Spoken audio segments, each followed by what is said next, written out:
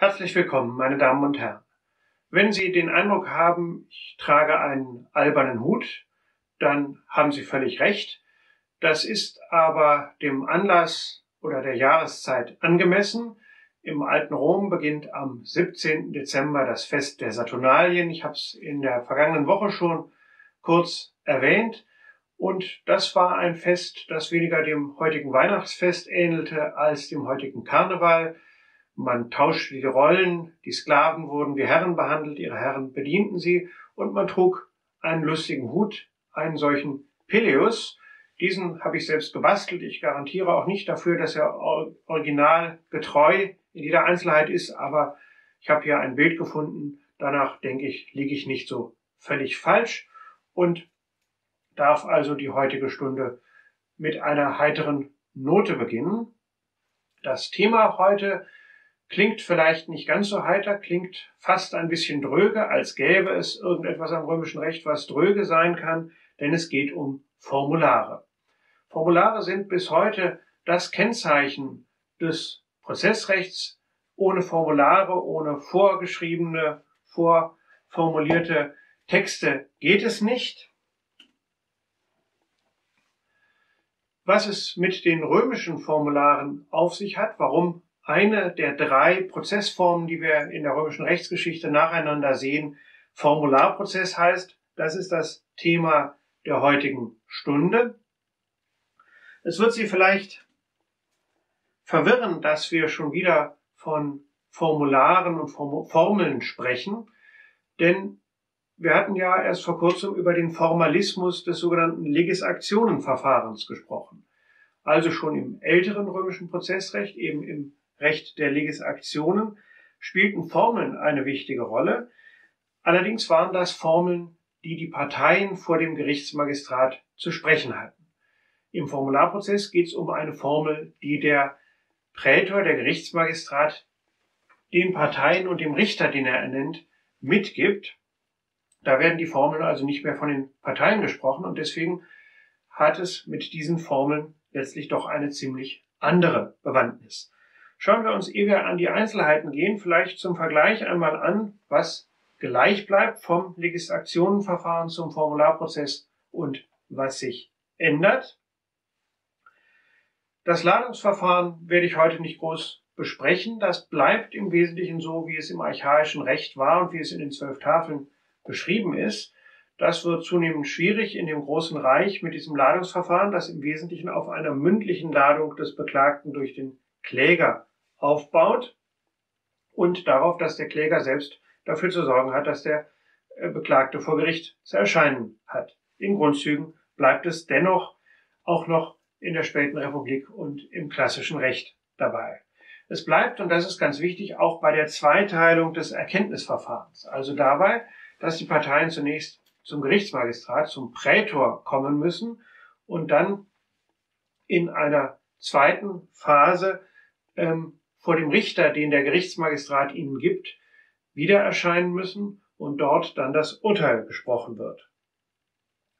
Ein wesentlicher Unterschied besteht, wie schon betont, darin, dass die Parteien nicht länger äh, es nötig haben, ganz bestimmte, exakt vorgeschriebene feierliche Formeln zu sprechen, damit das Verfahren angeht. Stattdessen können Sie frei vor dem Gerichtsmagistrat Ihr Anliegen vortragen und der Gerichtsmagistrat erteilt nun eine Anweisung nach einem Formular. Das heißt, er hat eine, einen Satz vorformulierte Anweisungen an den Richter für verschiedene Prozesstypen und nach dem, was die Parteien ihm vorbringen, wählt er die passende aus und gibt sie dem Richter mit auf den Weg. Die Formel, über die wir heute sprechen, ist also die vorformulierte Anweisung die der Prätor dem Richt, ernannten Richter mitgibt, um ihm zu sagen, wie er den Prozess zu führen hat.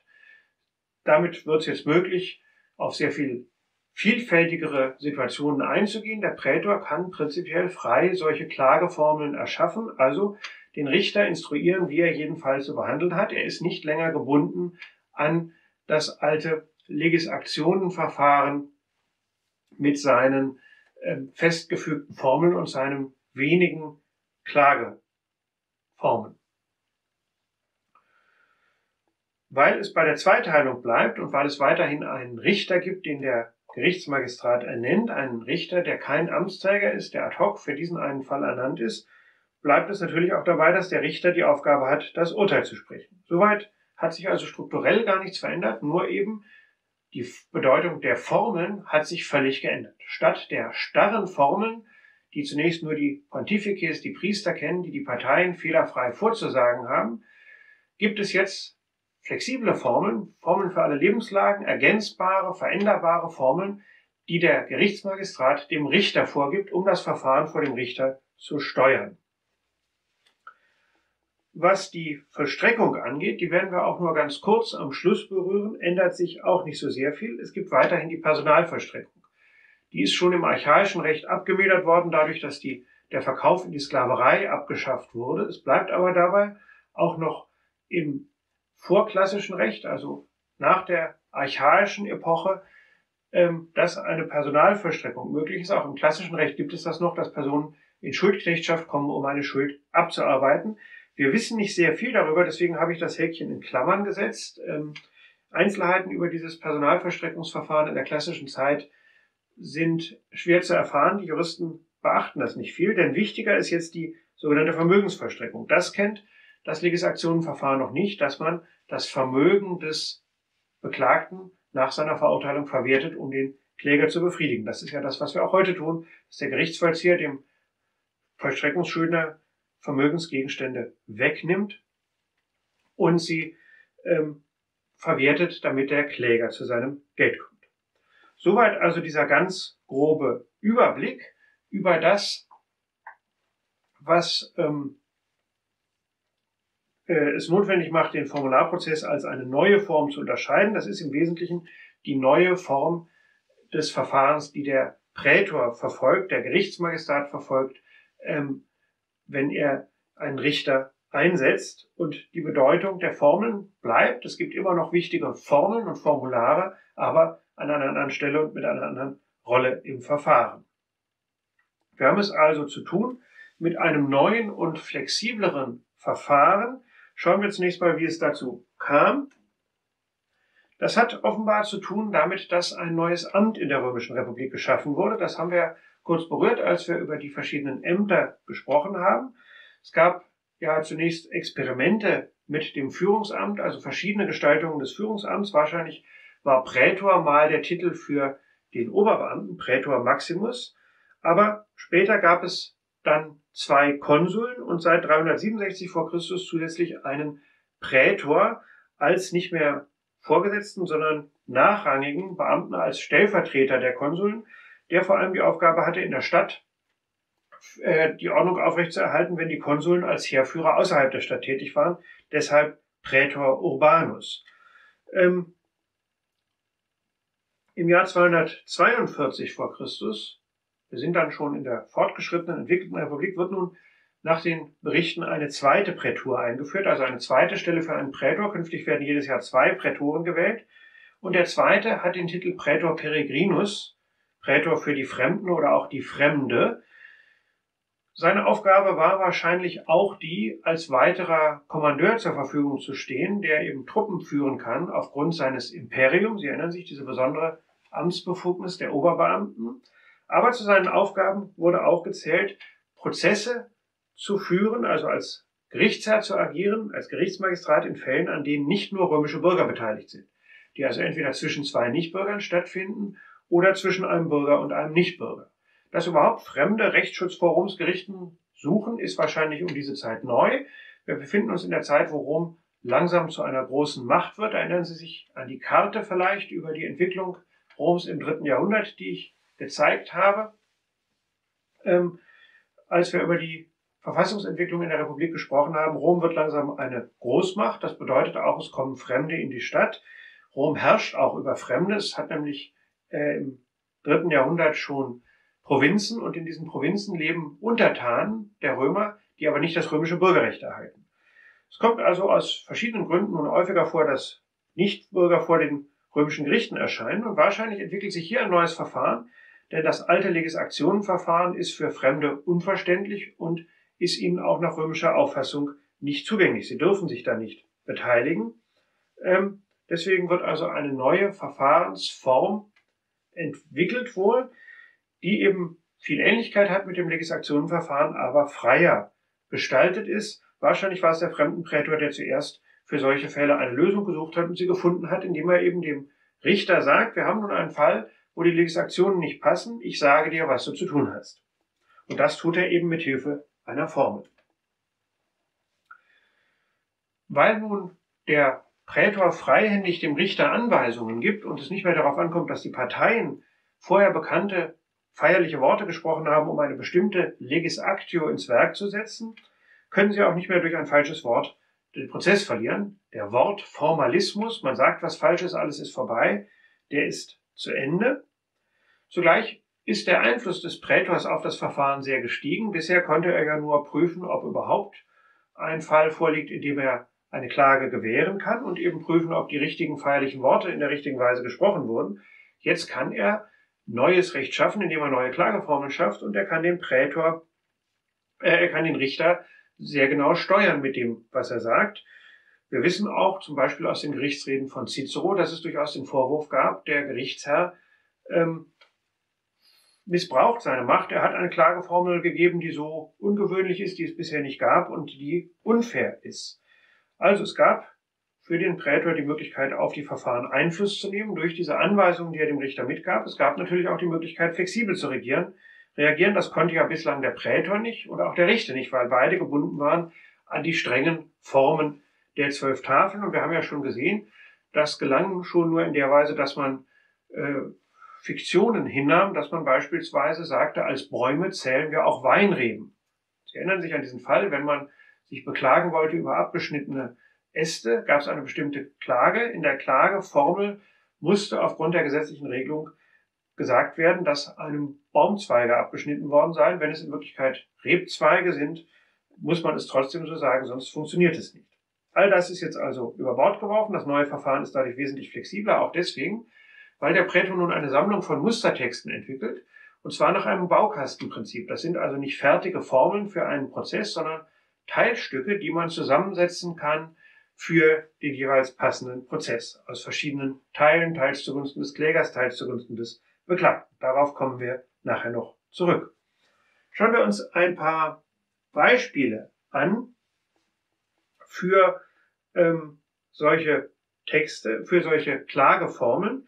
Woher kennen wir die? Wir kennen sie aus den Äußerungen der römischen Juristen und zwar vor allem aus ihren Kommentaren zum Edikt des Prätors. Damit hat es Folgendes auf sich. Ich habe das in der Vorlesung äh, über das, äh, die verschiedenen Rechtsschichten des römischen Rechts im Sommersemester ausführlicher erklärt.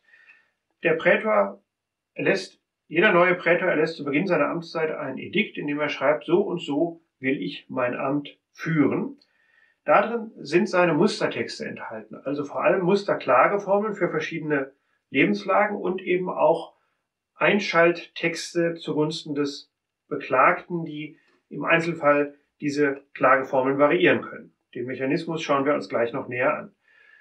Das konnte jeder Prätor zunächst so gestalten, wie er wollte, aber es liegt ja nahe, wenn man in sein Amt neu hereinkommt, sich nicht auskennt, übernimmt man erstmal den Text des Vorgängers, zumindest zu großen Teilen. Und das ist auch geschehen. Es wurde also dieser Ediktstext langsam äh, ein Text, der von Prätor zu Prätor weitergereicht wurde und sich nur noch minimal veränderte.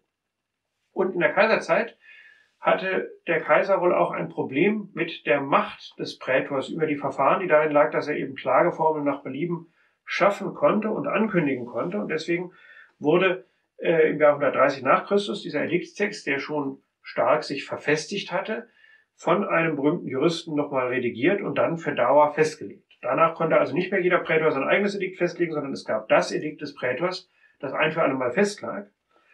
Und dieser Text wurde dann wie ein Gesetzestext von den Juristen kommentiert. In so einem Kommentar kommen immer wieder Zitate vor, deswegen wissen wir relativ genau, wie dieses Edikt aussah und wie die Formeln aussahen, die da drin enthalten waren, die Mustertexte, die Formulare. Ähm, dass wir das im Einzelnen äh, rekonstruieren können, verdanken wir vor allem einem berühmten Gelehrten, Otto Lindl, ich habe ihn hier abgebildet, der eben diese Rekonstruktion aus den vielen Hinweisen und Indizien in den Quellen äh, geschafft hat. Bei den Beispielen, die jetzt kommen, habe ich mal dran geschrieben, wo Sie das bei Lendl finden.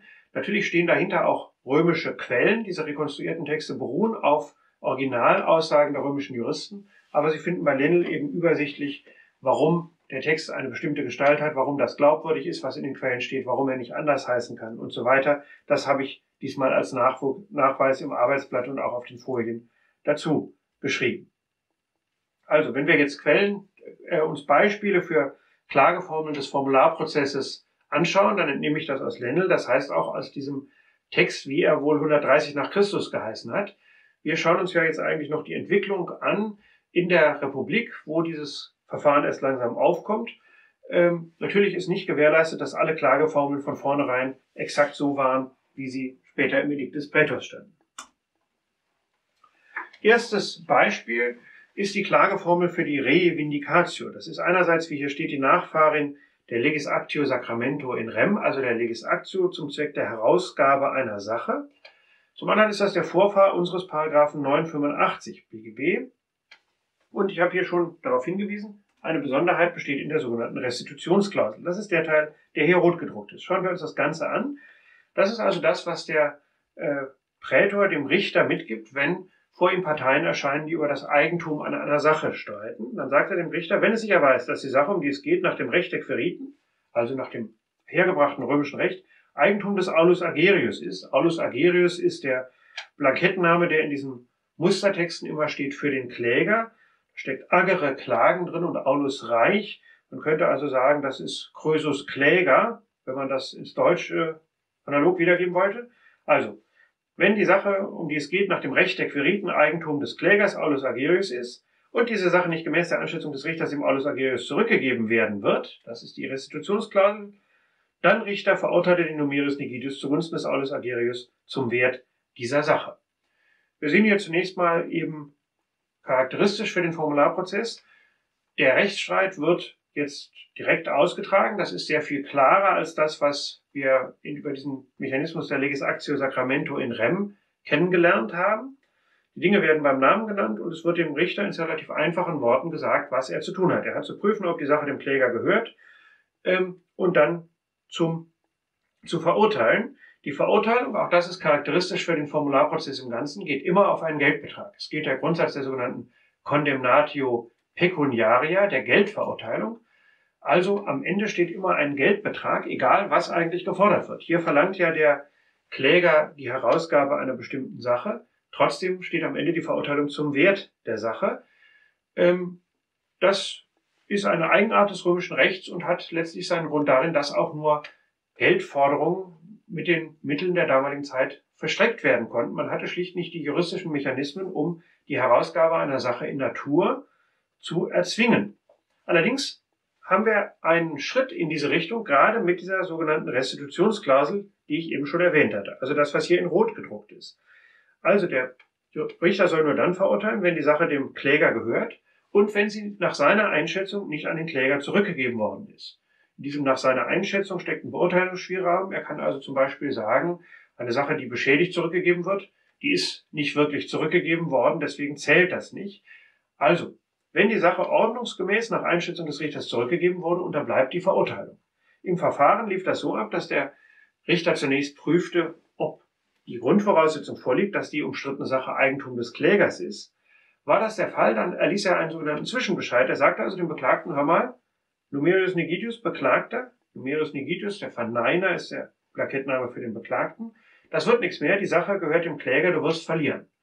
Dann hatte der Beklagte die Chance, die Sache jetzt noch dem Kläger zu übergeben und damit der Verurteilung zu entgehen. Tut er das nicht, dann wird der ähm, Beklagte verurteilt und zwar auf einen Geldbetrag. Und das Besondere ist nun, dass dieser Geldbetrag ähm, geschätzt werden durfte vom Kläger und der Richter dieser Schätzung prinzipiell folgte. Damit ist also ein zusätzliches Druckmittel gegeben für den Beklagten, die Sache doch lieber herauszugeben, also dem Kläger sein Eigentum zurückzuverschaffen, den Gegenstand, sei es eine bewegliche Sache, ein Sklave oder ein wertvoller Schmuck oder auch eine unbewegliche Sache, ein Grundstück, in Natur dem Kläger zurückzugeben, statt sich auf diese Verurteilung auf Wertersatz einzulassen, wo er letztlich dem Urteil des wütenden Klägers ausgeliefert ist. Also wir sehen hier, letztlich wird der Rechtsschutz gewährt, den es auch schon unter den Legislationen gab. Der Eigentümer kann sein Eigentum zurückfordern aber er wird jetzt gewährt in einer klareren Weise und mit einem ingeniösen Mechanismus, der hier äh, einen gewissen Ausgleich dafür schafft, dass die Verurteilung immer auf einen Geldbetrag geht, nie auf eine andere Leistung als Geld bezahlen. Mein zweites Beispiel für Innovationen, aus, die einhergehen mit diesem neuen Klageverfahren, sind die Klagen aus formlos geschlossenen Verträgen. Auch das habe ich eingehend erklärt in den Videos des Sommersemesters Trauschau Wem zum römischen Vertragsrecht. Hier nur so viel.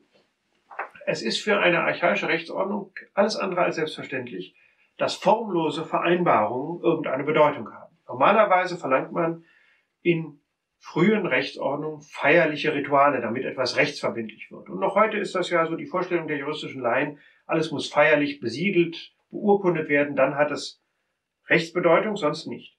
Aber Sie wissen aus dem deutschen Jurastudium, dass das im deutschen Zivilrecht so nicht ist. Formlose Verträge führen zu Ansprüchen der Parteien gegeneinander. Und dieses Prinzip hatten schon die Römer, dass man durch bloße übereinstimmende Willenserklärungen in beliebiger Form, konkludent, stillschweigend, schriftlich, mündlich, durch Zeichensprache einen Vertrag schließen kann, der dann verbindlich ist und für beide Seiten Ansprüche hervorbringt. Im archaischen Recht gab es das noch nicht. Es ist eine Innovation, die wohl mit dem Formularprozess einhergeht, dass man jetzt sagt, bestimmte Verträge, nicht alle wie heute, aber bestimmte Verträge, die in der Praxis eine große Rolle spielen, die können formlos geschlossen werden und wenn eben nachgewiesen wird, dass man sich formlos geeinigt wird, dann müssen diese Verträge erfüllt werden. Ähm, die Verträge, um die es sich handelt, die habe ich hier aufgelistet und Sie sehen gleich, das sind die Standardverträge, die Grundvertragstypen, die auch im BGB noch eine prominente Rolle spielen. Das waren die Verträge, die für die Römer so wichtig waren, dass sie gesagt haben, Verträge, die diesem Muster genügen, die also sich als Kaufvertrag, Dienstvertrag, Werkvertrag und so weiter darstellen, die ähm, lassen wir formlos gelten. Andere Vereinbarungen, die nicht in dieser Auflistung stehen, da muss irgendein Ritual oder irgendein zusätzliches Element hinzutreten, damit der Vertrag verbindlich wird. Warum nun lässt man formlose Vereinbarungen gelten? Vermutlich war für die Römer zentral der Gedanke von Treu und Glauben, bona fides, lateinisch gute Treue eigentlich. Warum nehmen wir das an? Weil das in den Klageformeln immer auftaucht. Ich habe Ihnen hier als Beispiel die Kaufklage genannt. Das gilt aber genauso beim Werkvertrag und in anderen Fällen. Im Hinblick darauf, dass Aulus Agerius von dem Mirius Negidus einen, Klagen gekauft hat, einen Sklaven gekauft hat, worum es in diesem Verfahren geht, was immer Numerius Negidus deshalb nach Treu und Glauben dem Aulus Agerius geben oder für ihn tun soll, dazu Richter verurteilte den Numerius Negidius zugunsten des Aulus Agerius. Also hier wird gesagt, wenn mal nachgewiesen ist, dass ein Kaufvertrag besteht, zum Beispiel über einen Sklaven, das ist hier das Standardbeispiel, dann soll der Richter zu allem verurteilen, was nach Treu und Glauben deswegen geschuldet ist. Hier erscheint Treu und Glauben also nicht als Grundlage dafür, dass der Vertrag überhaupt verbindlich wird, sondern als Maß oder als leitender Maßstab, nachdem der Richter ausüben, seine Beurteilung ausüben soll, was genau aus dem Vertrag geschuldet ist. Diese beiden Punkte hängen aber wahrscheinlich zusammen.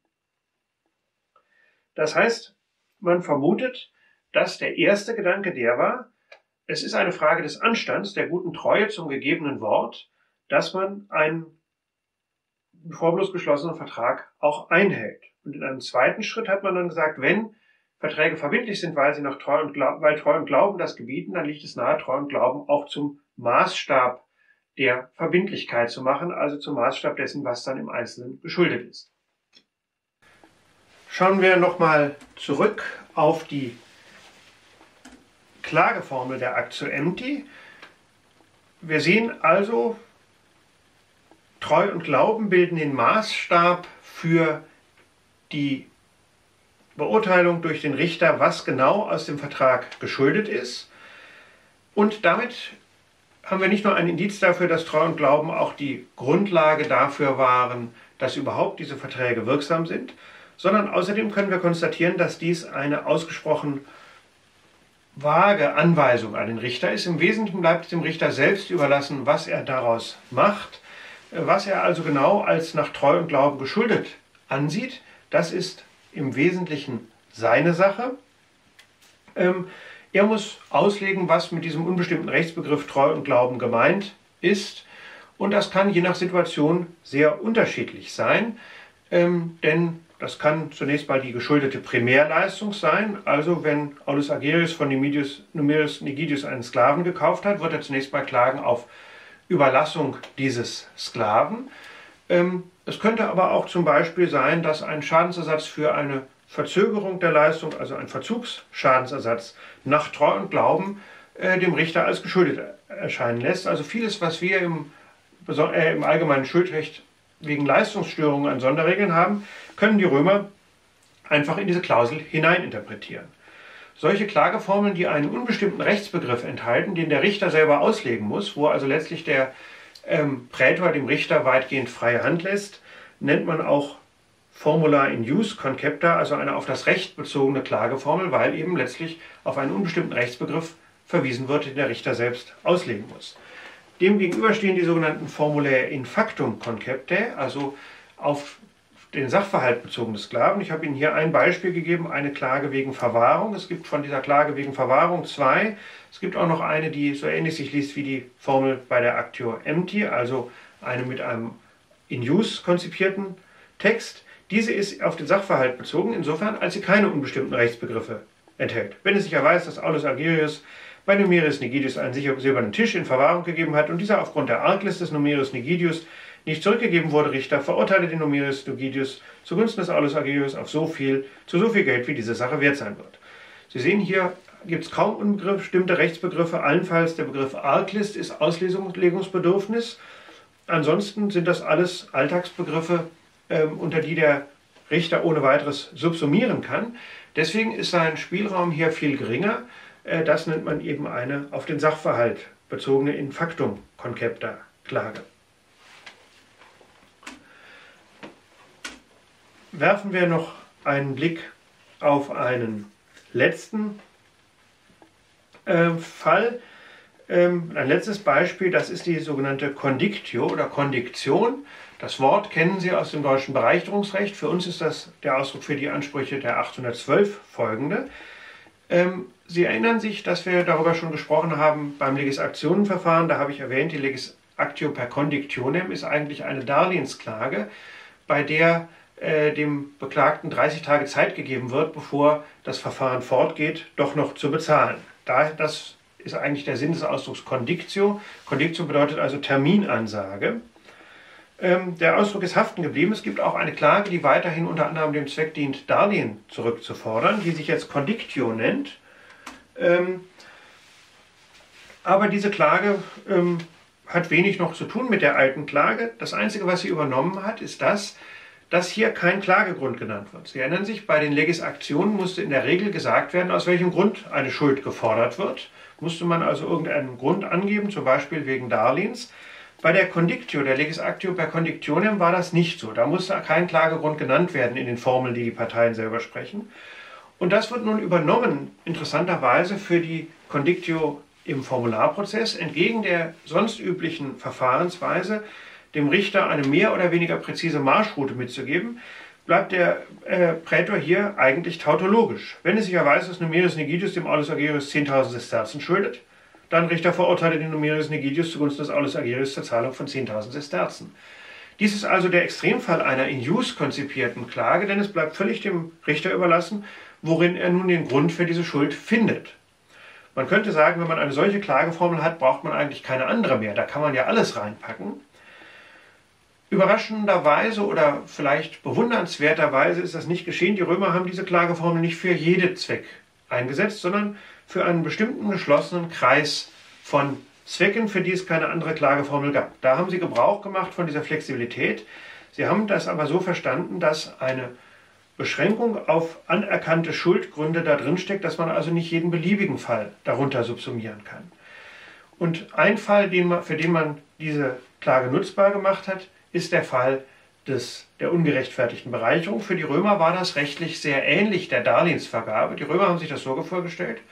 Beim Darlehen gebe ich einen Geldbetrag und vereinbare mit dem Nehmer, mit dem Empfänger, dass er den nicht auf Dauer behalten darf, sondern irgendwann zurückgeben muss. Ich behalte also, vereinbare also gewissermaßen, es gibt keinen Rechtsgrund, diese Sache auf Dauer zu behalten.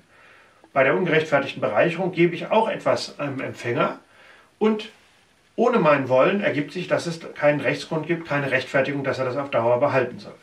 Darin haben die Römer eine hinreichende Ähnlichkeit gesehen, diese Klage ähm, zu verwenden. Die ist also flexibel, weil sie keinen besonderen Anlass für die Schuld nennt, aber sie wird nicht zum Allheilmittel oder zur Klage, die alle anderen auffrisst. Sie behält einen bestimmten begrenzten Anwendungsbereich.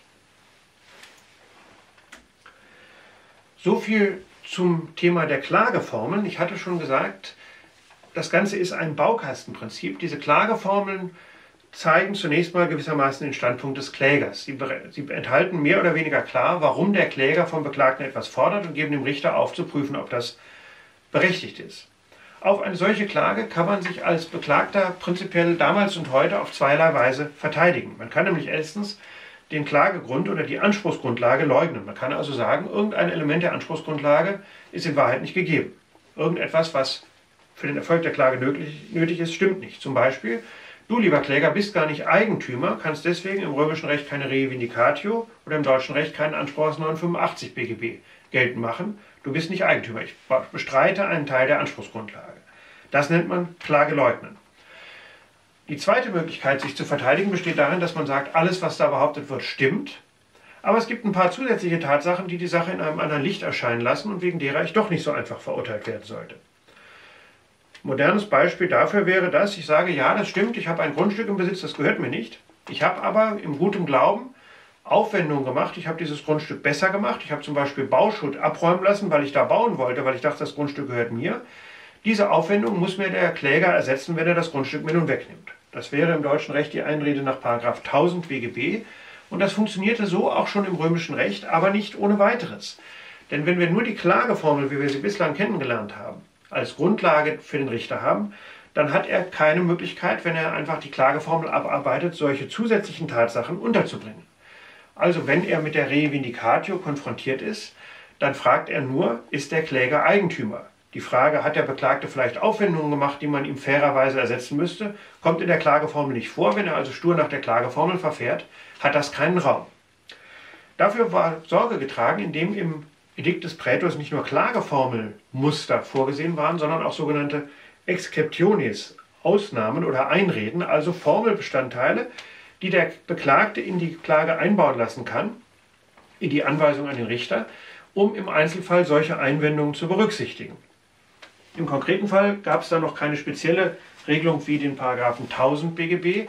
Es gab nur die sogenannte Einrede der Arklist. Die soll erfunden haben der berühmte Jurist Aquilius Gallus, einer der spätklassischen Juristen, die ich Ihnen genannt habe, als wir über die römische Rechtswissenschaft und ihre Entstehung gesprochen haben.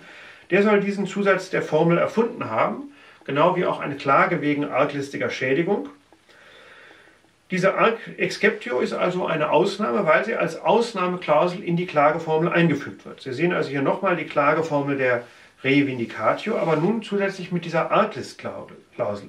Wenn in dieser Angelegenheit keine arglistige Handlung des Aulus Agerius erfolgt ist oder noch erfolgt. Soll also heißen, wenn sich der Aulus Agerius selber arglistig, heute sagt man auch gerne treuwidrig verhält, wenn er also selber sich nicht fair verhält, dann scheitert seine Klage unter Umständen. Und ein solcher Fall, wo die Römer gesagt hätten, der Kläger verhält sich nicht fair, wäre der, dass jemand sein Eigentum herausverlangt von einem gutgläubigen Besitzer, von jemandem, der dachte, die Sache gehört mir und deswegen Aufwendungen gemacht hat, beispielsweise ein Grundstück ähm, verbessert hat, gedüngt hat oder dort gesät hat oder eben Schutt hat abräumen lassen und nicht bereit ist, der Kläger dem Beklagten dafür Ersatz zu leisten. Dann konnte der Beklagte sagen, solange mir diese Aufwendungen nicht ersetzt werden, verweigere ich die Herausgabe. Denn man hätte gesagt, indem der Kläger sich so verhält, äh, verhält er sich arglistig, also nicht so, wie es äh, anständigem Gebaren entspricht. So hatte man hier also eine vielseitige Ausnahmeklausel, mit der alle möglichen Verteidigungsgründe in die Klage eingeführt werden konnten. Das ist der Vorläufer dessen, was wir heute eine Einrede im materiellen Sinne oder auch eine, äh, im, Entschuldigung, eine Einrede im prozessualen Sinne oder auch eine Einwendung nennen. Statt die Tatsachen, die in der Anspruchsgrundlage genannt sind, die Tatbestandselemente der Anspruchsgrundlage zu leugnen, führe ich weitere Tatsachen in den Streit ein, die das Ganze in einem anderen Licht erscheinen lassen oder die Anlass geben, eben die Klage abzuweisen. Alle weiteren Charakteristika des Formularprozesses können wir hier nicht ansprechen. Ich möchte nur ganz kurz Ihnen noch einen Überblick geben, wie das Verfahren im Ganzen abläuft. Im Wesentlichen ahnen Sie das schon, weil es die meisten Elemente auch im modernen Recht gibt und schon bei den Legislationen gab. Es gibt also zunächst mal die Ladung, nach wie vor ein mündliches Ladungsverfahren durch den Kläger, dann die Verhandlung vor dem Gerichtsmagistrat, der Punkt, an dem der Gerichtsmagistrat die Formel erteilt und den Richter ernennt, das ist letztlich der Moment, in dem die Klage erst richtig losgeht. Das nennen die Römer Litis Contestatio, Streitbezeugung. Das ist der Moment, den man heute als Rechtshängigkeit der Klage äh, ansieht und an den sich verschiedene äh, Rechtsfolgen knüpfen. Beispielsweise laufen von da an die Prozesszinsen im modernen Recht. Sowas gibt es auch schon bei den Römern. Deswegen ist das ein wichtiger Moment, der eben diesen schönen Namen hat, Litis Contestatio. Der zweite Teil des Erkenntnisverfahrens, also des Verfahrens der Urteilsfindung, findet dann vor dem Richter, judicem, statt. Da wird Beweis erhoben und der Richter spricht dann schließlich sein Urteil. Daran schließt sich nach wie vor kein reguläres ähm, Rechtsmittelverfahren an. Das entwickelt sich im Formularprozess noch nicht. Es gibt allerdings fallweise die Möglichkeit, einen höheren Magistrat oder den Volkstribun anzurufen, um sich zu verwahren gegen das, was der Prätor als Gerichtsmagistrat entschieden hat. Das ist eine, des, eine der Wurzeln des späteren ähm, Appellationsverfahrens. Ansonsten schließt sich an die Vollstreckung und die geschieht eben normalerweise jetzt als Vermögensvollstreckung in der Weise, aber dass das gesamte Vermögen des Schuldners für alle seine Gläubiger verwertet wird. Wir haben also nicht das, was wir heute Einzelzwangsvollstreckung nennen. Ich habe ein Urteil erstritten, der Beklagte schuldet mir 100 Euro, ich vollstrecke bei ihm in Höhe von 100 Euro, sondern wenn es in Rom jemand so weit kommen ließ, dass er dass ein Urteil nicht freiwillig erfüllt wird, sondern verstreckt werden muss, dann hat man angenommen, das ist ein Bankrotteur. Da müssen alle Gläubiger sehen, wo sie bleiben. Und deswegen kam es zu dem, was man später den Concursus Creditorum genannt hat, das Zusammenlaufen aller Gläubiger. Also alle Gläubiger melden ihre Forderungen an.